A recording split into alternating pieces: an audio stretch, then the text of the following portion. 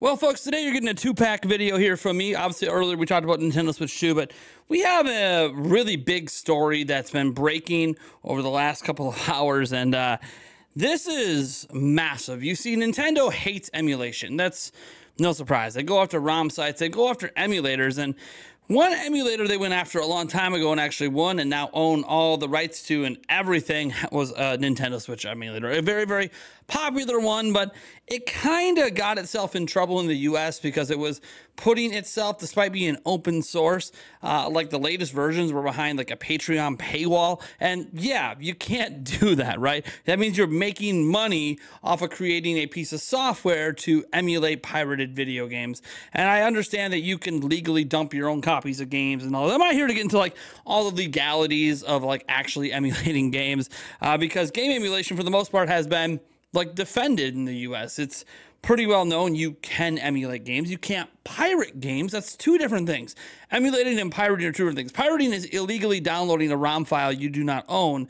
Uh, whereas emulating, technically, you can dump any of your own ROM files and just play them. But Nintendo was able to nab that emulator in the US specifically because they were charging money. So they were profiting off of making something that was able to play Nintendo's games and providing like keys that you need to actually like decrypt games. It was a whole mess of stuff.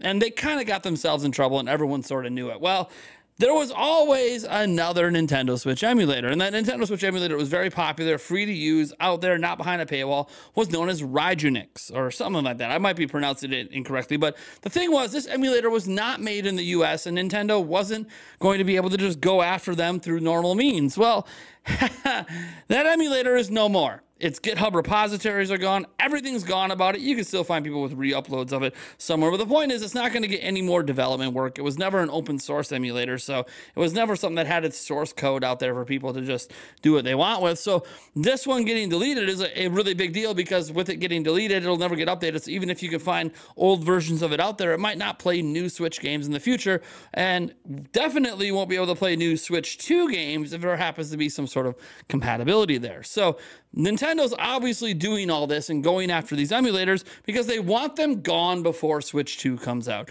Because if there's backwards compatibility and a lot of stuff, this could open up vulnerabilities that could actually enable Switch 2 games to be emulated much quicker. So Nintendo just wants to eliminate Switch emulators off the face of the earth. Now, to all you pirates out there and hackers, you'll know that, hey, look, it's sort of a losing battle for Nintendo to do this.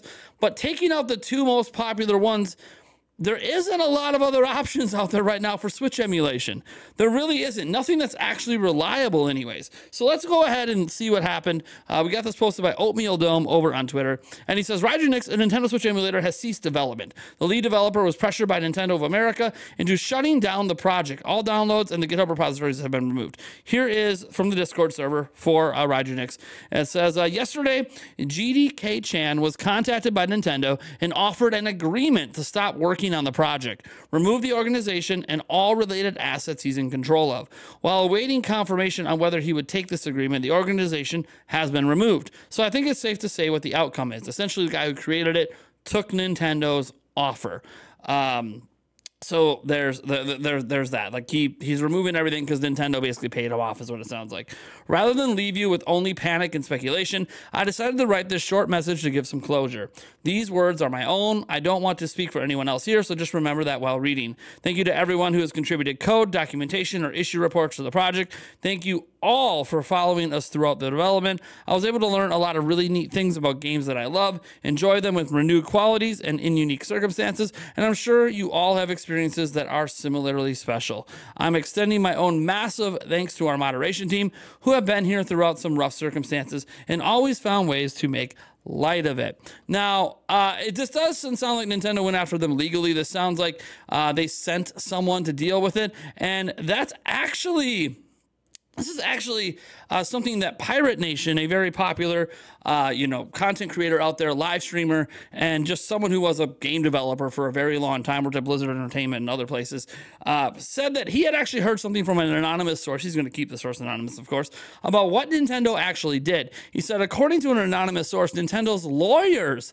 walked up to the main developer's house in Brazil. So, like, Nintendo of America sent lawyers, so basically the Nintendo ninjas, to this person's house and offered him a, de- a deal to delete it, which kind of goes along with, you know, what this says here. You know, if you look at this, it says, hey, uh, the, Nintendo offered an agreement to stop working on the project. Nintendo, literally, Nintendo of America went to this dude's house in Brazil and made him an offer. And I'm sure the offer was a pretty hefty sum because I don't believe that Ryujinx was actually breaking any Brazilian laws. So there probably wasn't like a threat of lawsuits or anything. Uh, so I can't imagine that that's how Nintendo got this to go down, like threatening, hey, if you don't take this deal, we're going to take you to court. Because I don't think the laws in Brazil would have allowed that. But what I will say is, look, the guy probably is just super passionate about Nintendo.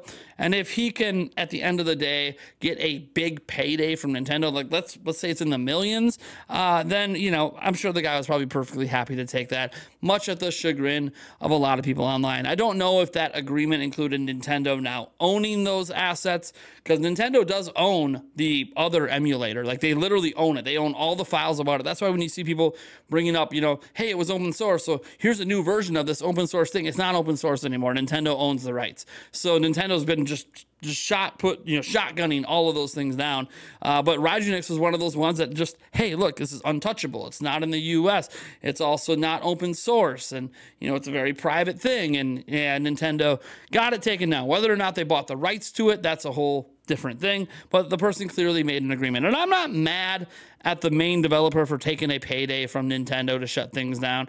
I don't think that that is uh, you know a bad thing. Look, the guy made an emulator and he got paid by Nintendo. I think in the end, a lot of us probably would have just taken that money. Some of you might have stood on principle and been like, no, Nintendo, I will not take that money. But remember, Ryujinx wasn't a project that made this guy any money. He wasn't making money off of the project. So uh, for him to get, you know, probably a several million dollar payday from Nintendo probably is a win in his book. Uh, does that mean there'll never be any more Switch emulators? Well, of course not. We're going to get see more and more pop up, but Nintendo's going to keep trying to get them all shut down. If they can't get them shut down, you know, legally, it sounds like they're just going to offer sums of money that people can't say no to. Nintendo's a multi billion dollar company. Uh, the thing is, this could actually encourage people to try to make Switch emulators to get Nintendo this might this might backfire a little bit. People might start to make emulators so Nintendo pays them off. But making a Switch emulator isn't like the easiest thing in the world. That's one reason why there's basically only been two really popular Switch emulators. Instead of, you know, when you go at the the, the, the Wii U and the 3DS and the, the Wii and the DS, like there's a ton of different emulators, you know, dozens of them for those platforms. But for Switch, it's really just been about the two big ones. Nintendo got the other one legally because they were selling stuff and making money. And now they went after this one and said, look, we're just gonna it's still technically legal but uh, they went after him legally in that we're just gonna pay you to get rid of it. So uh, look what does this mean obviously for switch emulation? This is a massive blow to people out there especially those of you guys that were using switch emulation legally. I feel for people that were using switch emulation in a legal way. For those of you that were just pirating video games i gotta say i don't really give a flying f man. All you people playing echoes of wisdom early all you people that played tears of the kingdom early people that plan to be playing mario party Party Jamboree early, which by the way, you don't need emulators to do it. You can have a hack switch and do it. But the point is that all you people that were just using these emulators to illegally play games early, man, I don't have any sympathy for you. All right. I get what Nintendo's doing. Nintendo's worried about their next system. They're worried about the backwards compatibility aspect. They're worried about any vulnerabilities that could come from that, that could lead to emulation day one. Nintendo wants to do everything they can to protect that. And while there will be protections in on Switch 2, reality is there was always the risk that if Nintendo Nintendo has backwards compatibility with Switch, that it could open them up to vulnerabilities with emulators. Those vulnerabilities, by the way, will probably still exist, but with Nintendo continually going after the major emulators, if they could stop another Switch emulator from gaining, you know, massive popularity, then that's going to be a big win in Nintendo's book and probably help really cut down on the level of piracy